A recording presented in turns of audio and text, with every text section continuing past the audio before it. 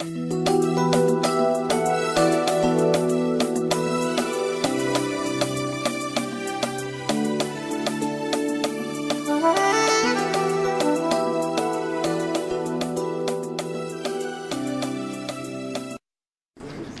morning. Good morning. Today, thank you, audience, for taking your time to take uh, to come to our talk show on Action TV. But before we start, a few instructions. First, observe minimal movement. Second, observe minimal silence. Third, if you have to drink water, do not put it on your laps. Put it beneath your seat. Fourth, we'll be on Facebook, we'll be on Twitter, and we'll be sending text for you to engage in the conversation. For engagement on our Facebook page, kindly like our Facebook page at ActionAid Staff Retreat. On Twitter, kindly follow us on AAIK underscore retreat using the hashtag ALPS. You can also send your messages to, kindly note this down, please.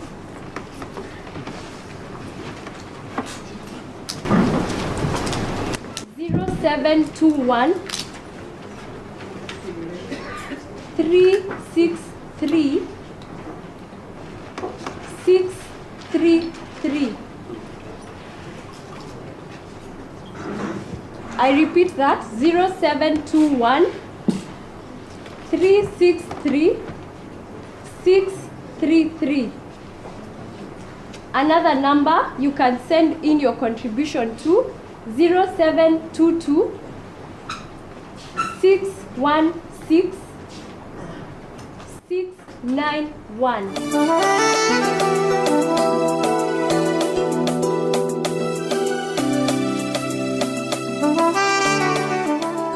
Uh, today we are talking about accountability. For three days, we've been here just trying to understand what is what is accountability. But today we are privileged to get it from the experts with us here, and uh, we really hope that we, you will also contribute and engage with them so that we learn as much as, uh, as we can from the experts. My name is Lucy, and my co-host. And I'm Michael Odumbe, and we thank you for choosing to stay with the Action TV, your channel of choice. And let me have this opportunity to introduce our distinguished panel for today. To our extreme left, a professor in OD, Organization Development, our own Professor Nyambura Mbugwa. the former MP for Kieni, and now the sitting MP for Narok, our own Thank you. Good morning, viewers. Next to her, next to him, all the way from Bungoma County, our own Christine, Dr. Christine Osuka. and all the way from Magarini University, our own Lawrence Machidudu. Dr. Lawrence. Good morning, viewers. Okay, we go straight to the first topic, uh, Dr. Professor Nyambura. It's a pleasure to have you here tonight, and we really do appreciate your work. Uh, you've done a lot of work with the girls and women, just trying to impact uh, OD and accountability, and we are really privileged to have you. Uh, first, uh, let's just design what is accountability. I think it's quite simple if you put it that way. And uh, it must happen in a relationship. Uh, this relationship can either be uh, vertical or horizontal. And when we're looking at vertical relationships, we're looking at the state, we're looking at the state and we're looking at uh, its citizens, we're looking at uh, the leaders, we're looking at the communities. Uh, horizontally, we are looking at uh, relationships such as uh, within a marriage, uh, whether it's a man and a woman, uh, or partners. Uh, we're looking at colleagues. We're also looking at staff. Yeah, so uh, for me, I think it's quite simple. It's about being answerable. I, I hear you, Professor, and uh, two keywords there. First is that account- accountability means responsible use of power, and two things that it exists in a relationship. But I want to take you further. Can, can you just tell us why, why is this accountability important to us? I think accountability is important because we must lead by example. Uh, we must be the example ourselves first Mm. uh, before we go and seek that accountability out there. Um, I'm looking at uh, it being political. Uh, in that uh, the communities take us uh, to account uh, based on several things, whether it's through uh, PRRPs or transparency boards or other thing, issues like that. And then we build their capacity, and then they're able to go and uh, speak to the state uh, and seek accountability. Thank, thank you, uh, Professor Nyambura. Uh, just to take it from there to uh, Honorable Gakuo, uh, Nyambura has spoken about being accountable to the state. And uh, as a sitting member of parliament, could you just tell us uh, which relationship we have and who do we have to be accountable to? when we talk of uh, the issue of accountability, the first thing we asked about is this issue of poverty. It is very broad that you can't address it in isolation. It is very key to note that you have to work with the other strategic partners. You have to bring on board other partners from up. What I mean is that it has to be both internal and external. Internally, we mean uh, the first thing that we have to have the donors, the supporters, and we also have the community and the partners that we work with. And in every step that we make in whatever we do, we have to report upwards to our donors and also to account to the community that we work with. Because addressing issue of the poverty, we must work as a team, not in isolation. And, uh, and I hear you, Dr. Very critical point there that we have multiple accountabilities. But I just want to take you back on the issue of partnership. When we say we are accountable to our partners, wh- wh- what, what exactly do you mean? Uh, when we talk of partners, as I said, we don't implement projects in isolation because if you do so, you'll end up having white elephant projects. What we should, uh, and that one is the thing which we should avoid. So the most important thing is for us to identify the strategic partners whom we must build and incorporate in what we call project cycle right from inception, implementation, monitoring and evaluation so that they can be they, they can be part of the whole process they can also be accountable and they can also agree with what we do report I want to, uh, talk to Dr. Lawrence uh, uh. You've had uh, the multiple accountabilities that we have, but I, I want to take it uh, on a day-to-day interaction with our community. When you talk about accountability, how, how do we demonstrate? How do you demonstrate this? very easy to demonstrate accountability and uh, because accountability is very key in our day-to-day operations and because community is not used to this kind of accountability we have to instill it and that is why we start to know or to discuss about accountability from the planning stage mm. we do plan with them mm. and as we are implementing we involve communities in the PRRPs mm. or the planning and review meetings that we have. And why is it important for us to be accountable to them? It is because we raise funds through child sponsorship and also through communities. And that is why we should instill that culture of accountability. Why is it important for us to account for the funds that we have raised? Leave alone that, it is a time for them to say, what did we do well? What did we not do well? Hmm. And what needs to be improved? Just outside the office, we have a hmm. transparency board, which outlines exactly hmm. what is supposed to be implemented in any given year. Also, we make use of meetings with other stakeholders. We display our budgets. And because of that, now, during our day-to-day operations, we train social auditors. Mm. And these social auditors now also look for accountability from the other stakeholders. Here we are talking, for example, the Co- Constituent Development Fund. Mm. They now demand for accountability from them. And that is what we say, in a way, doing social auditing is a way of empowering communities to demand for accountability from the other duty bearers. Thank you, Dr. You know, that's fun. Uh, for the sake of our viewers, I know uh, recently we saw you demonstrating on TV with social auditors, do you just want to tell us how that happened, how, how it came to be? After training the social social auditors, they now demanded for accountability. And they went straight to the Constituency Development Fund. They went to do 100% verification of utilization of Constituency Development Fund money. After knowing that there were so many loopholes, they went to pardon the duty bearers. Here were the fund managers.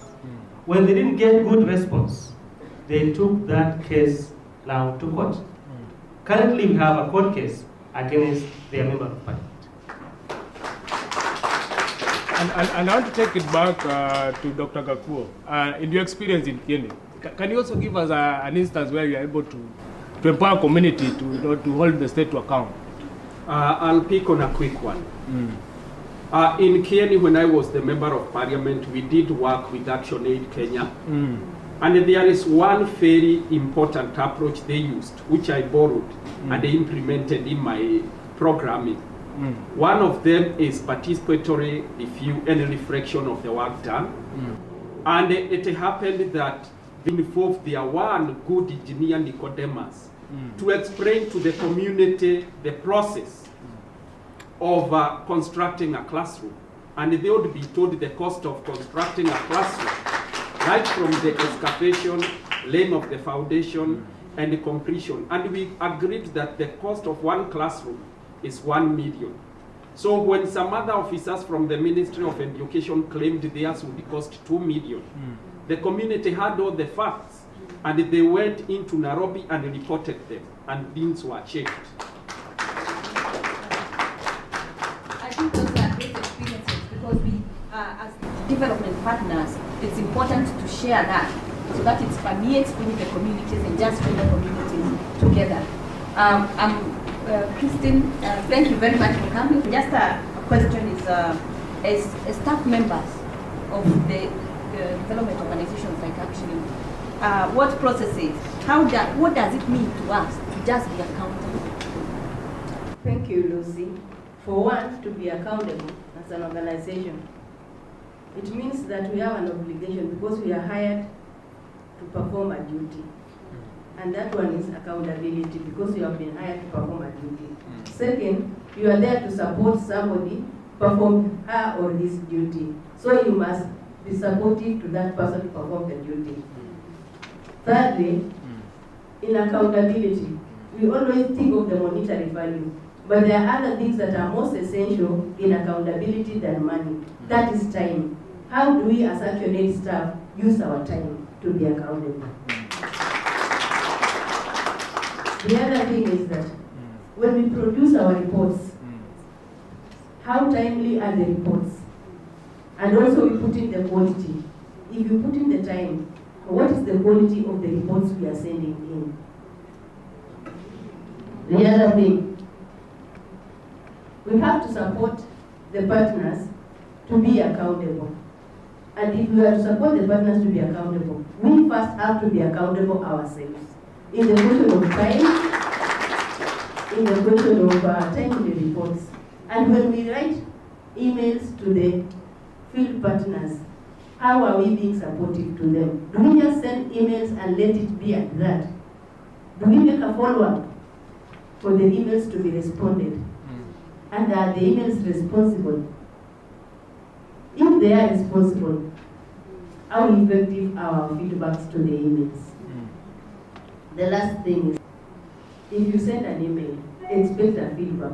But if you are also receiving the email, make a phone call back to ensure that the person who is sending the feedback hmm. gets the answer that you are not within network, hmm. so that you can send in the email when you are in the office. Don't always take things for granted. We need to be accountable with the time, with the everything that we are doing. Well spoken, uh, Dr. And I want to take it back uh, to the professor. We, we've heard that uh, two concepts of accountability. We are talking about uh, political accountability, but we're also talking about uh, management accountability. But I, I want to bring in the issue of attitudes, attitudes and behavior of staff. Uh, what, what, I, what is your take on this? Um, my take on this is that uh, we need to be responsible uh, as employees within the organizations that we have uh, been employed in. And I think we have to have a positive attitude because you have decided to be part of that organization. So if you've decided to be part of that organization, you need to have the right attitude to deliver on what you've been asked to do within that organization. Now, if you do find that it's contrary to hmm. what you believe in, hmm. then probably it's time to step out of such an organization. But we do not require the wrong, the wrong attitude within an organization hmm. because it will put the whole uh, team in jeopardy. Yeah, so for me, I think it's very critical that we have the right behaviors within an organization. Just to add on that, with ActionAid being an organization that has respect for women, we have to do a deliberate move to target women and girls so as to accomplish our core value of respect of women and children.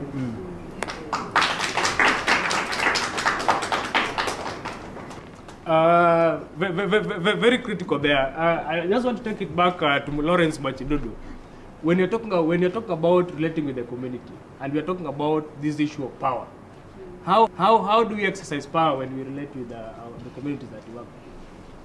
Thank you, Mike. That is very critical how we use power. Because we might run an extent of having power. And in doing that, actually it's like we're lemming the communities. We are supposed to display that power so that also be able to demand for accountability. So it is so important that we also nurture communities, empower them so they can also take things on their own. Thank you, viewers. We are taking a short break now, and uh, we just want to you to understand that today is accountability. Are you accountable in whatever way, whatever role you have? And because accountability is about me, it's about you, it's about each one of us doing their role, so that we get impact. Remember, the the, the most important thing is impact. What impact are we making all? If you make your impact, I'll also make my impact, and we all have a good. good so for now, we'll take a couple of questions from you.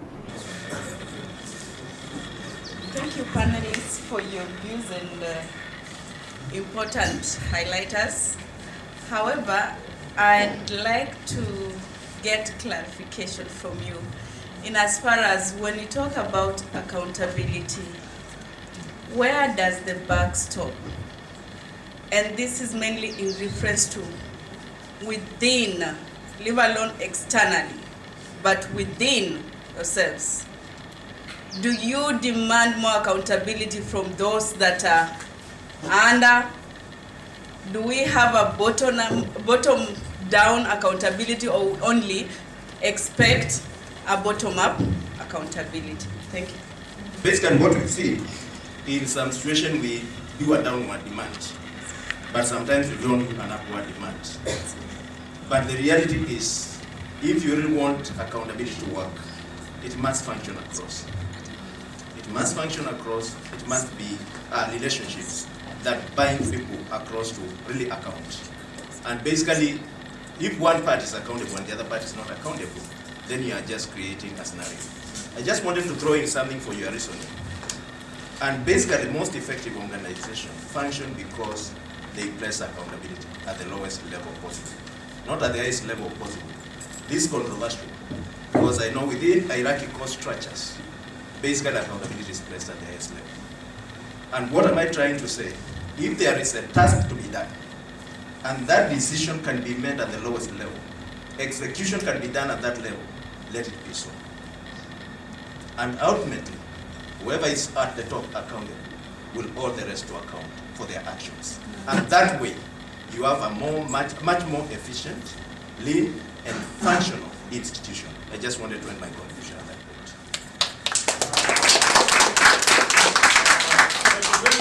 As we discuss accountability, we just need to appreciate that uh, accountability relationships are riddled with a lot of power relations. So as we discuss uh, top down, okay, upward, downwards, or downwards, upward accountability, we need to look at uh, if we need to, for example, give feedback to say, a supervisor about the way they are behaving, the way they are facilitating processes for us to be able to deliver, we need to reflect on uh, the power relations between the junior staff and the senior staff, and therefore utilize mechanisms that um, appreciate the fact that there are power relations within uh, that accountability relationship. Thank you. And I think it is important at whatever level in an organization to just be open about particular decisions that are being made so that everyone within that organization is aware of what is going on. To start with, uh, I think the first question that came from the, the audience is about where do we place monitoring and evaluation in accountability? And I want to direct this uh, to Dr. Francis. Uh, thank you, Martha. Uh, M&E, monitoring and evaluation, Mm. is very key to our work Yeah. because it will enable you to get the learning that you have acquired in implementing that particular program or the project. You should be able to use the same to report to the donors internally and also report to, to the partners that you work with, the community, and they will be able to pick the learnings, the success stories, and it will be im- uh, it will be used at another level in order to enrich the programs that we do have. M&E is another very key tool because it will enable you to get to know about the issue of the challenges that you encounter and try to re-strategize so that to address that particular issue that you are really addressing with the target uh, community. Thank you. Thank you, Professor. There was a question about uh, our transparency board. What are transparency board supposed to do, uh, Dr. Christine? Thank you, Lucy. Our transparency boards are supposed to act as moderators, and we are also supposed to use the transparency boards not only to be accountable for us as ActionAid, but we must also use them in other organizations, like we are key agency meetings. What are we going to do outside there when we go for other meetings, like stakeholders meetings? We need to carry the learning from our transparency board so that the other organizations can also learn from what we are doing. We have to say what we have. I think the third question that we had is about how are we accountable to women as an organization? And I want to direct this to uh, Professor Nyambura Mbugwa. Please, uh, can, can you just ex- uh, uh, help us understand how we are accountable to women? Um, various organizations um, I have seen as a professor um, have various ways they're accountable to women. Mm. I'm aware of uh, one one organization like ActionAid, uh, which I have heard from a colleague in the fraternity, uh, who has said what they've done for women uh, within the organization in, in terms of policies that are related to women. Uh, increasing the months uh, that women go on maternity leave from three to four, because I know the government gives three, and the, that organization gives four months. I'm aware that uh, they also give opportunity for women who are breastfeeding uh, within the first year of a child's life span. Um, they give two hours off, and uh, there's also flexi time. Uh, they also give opportunities in their retreat, uh, retreats, which I thought was very good uh, for uh, such uh, uh, workers to come with their nannies and their children to such a setting, and I think it's really, really good. Uh, among many others, which are, are there within our policies, and I think those are, are key within an organization. Just to add on what Professor has said is that uh, in ActionAid, our programs are tailor-made to suit women. We, ta- we do a deliberate target to target women to improve their livelihoods, to improve their capacities, to build them in every other forum that we have, so that we have to really target women to come up deliberately. Messages coming in uh, through text, uh, through Twitter, and uh, a very interesting viewer here is asking, uh, as an organization, and I want to take this uh, uh, to Professor Nyambura Mbugwa, have we been accountable in our organizational processes and decision making in terms of procurement, recruitment, and financial management? Thank you very much for that question. Yeah. Um, I, I think accountability uh, is two-way uh, within an organization. There is management and there is staff, and we're all part of one team. And so uh, we check each other and uh, there are checks and balances from staff, from management, from ourselves as a team. And, and so within our policies and our guidelines, yes, there are challenges that come in uh, within accountability. And where we find issues, uh, where we find issues, uh, we do deal with them according to the policies that have been laid down uh, within the organization. So I believe uh, we have been accountable because uh, we are checked by the audit, external audit, and I think we even came out of risk as, as an organization. So I Mm. believe we've been accountable. Uh, and yes, yes, please. I think it's important just to, there is another question, thank you Nyambura for that. There is another question on accountability to our donors. And one is asking, um, how is ActionAid accountable to donors when you're able to, uh, to where, when we are unable, unable to spend all funds, whereas community is still in poverty, when we are returning money. And you want to take that to, uh, to Dr. Lawrence. Please, please help us understand this. Thank you so much. Yes. That's a difficult question to answer, but uh, I will try as much as we can because that is, those are some of the challenges that you are facing as an organization. And uh, we always have to look at our internal capacities to deliver. And that is why always we review our internal processes to see which is the best way so that we can be able to remedy this situation. And believe me, we are working on a transitional process that you and me are part of the process. We are working towards ensuring that we spend all the funds that are given to us so that we can become as accountable as possible. And I think give us one year, we shall be able to be there. And, and uh, there's a friend here from uh, all the way uh, from uh, uh, Malindi is asking, what about the boy child? And I want to take this uh, to Dr. Francis. Please l- l- help us understand. Uh, How about the boy child? The boy child. Uh, let me hope uh, that is not a coincidence because I come from Nyeri County where the boy child has been uh, threatened now.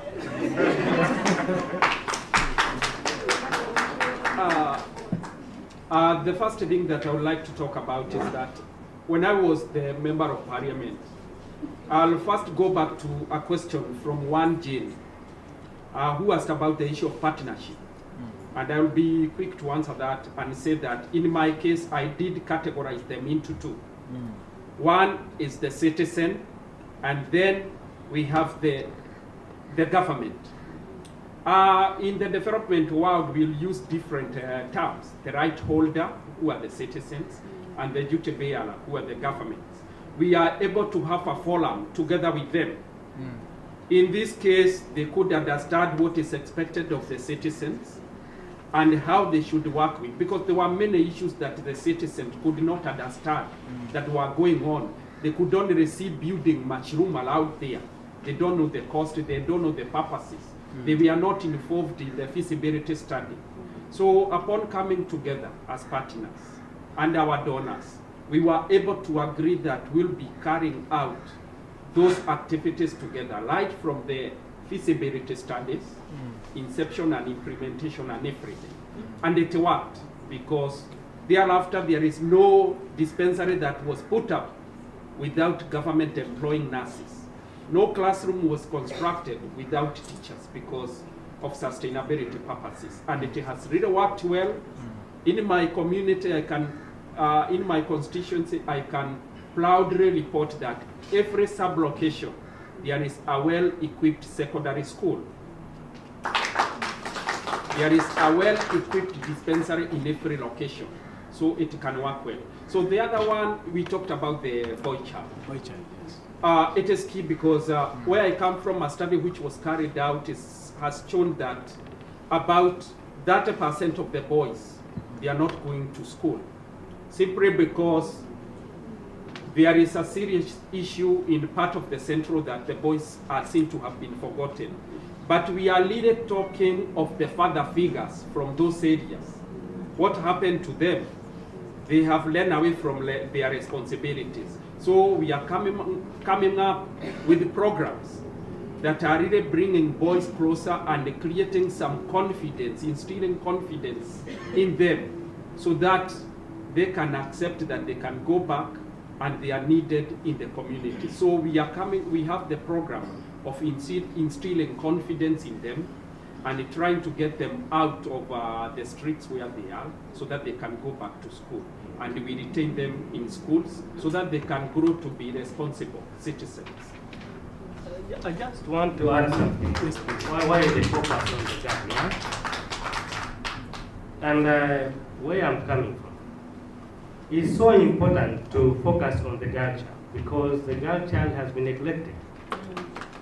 And it's also important when we empower the girl child, now the boys also strive to achieve even higher heights. And that is why we are saying that there can be a twist in terms of how communities uh, go on with their day-to-day activities. For example, if the girl child is not well educated, the boy child will also not struggle to be well educated because they know, after all, I'll be able to get a girl within the community. But if the girl child is well educated, we won't be seeing the so many boda bodas who do not complete even class 8. And we are setting the standard for the girl high so that the boys can also uplift their standard. I think uh, when it comes to the issue of vulnerability, it's the girl child who is more vulnerable. So we want to build the capacity of that vulnerable one, so that when this one comes up, the one who is vulnerable will also pick up from there. But if we build the capacity of the vulnerable ones, the vulnerable ones will not be there. So we are specifically targeting the girl who is vulnerable to come up.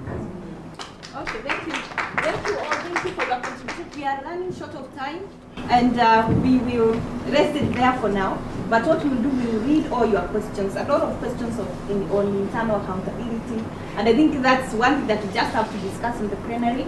Uh, we'll ensure that we read. So for now, I think we let our guest go, unless there's a burning thing that you want to tell the audience here, and you have your one minute. And I think probably they, before they leave, uh, closing arguments, closing arguments uh, uh, from Professor. Uh, what, what uh, you've you've heard what the discussions are coming from the crowd about accountability. What, what, what are your last words? What do you take home with us when you're talking about accountability? I think what I would want the, the viewers to go home with Mm. is, is that understanding of accountability is being answerable. Mm. And you realizing that this must happen in a relationship. And, and understanding that within an organization, uh, there, also those relationships are there, and we need to be accountable. There are documents that guide us on how we can be accountable within organizations, Mm. and therefore we need to heed these orga- uh, organization documents, like policies and other guidelines, because we have stated that that's where we want to be in that organization as a staff, and therefore we need to be part of that team. So those are my comments. Dr. Eric. Uh, for me, accountability starts with me. It has to be something intrinsic, must be internal, and you should also set out the same externally. Account internally as well as externally.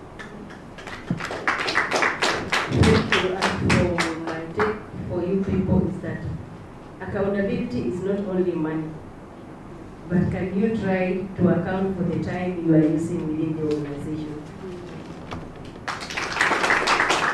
Mine is to emphasize our accountability to the children we are working with, to the communities we are working with, because we are raising funds through the communities. So let us be accountable to them.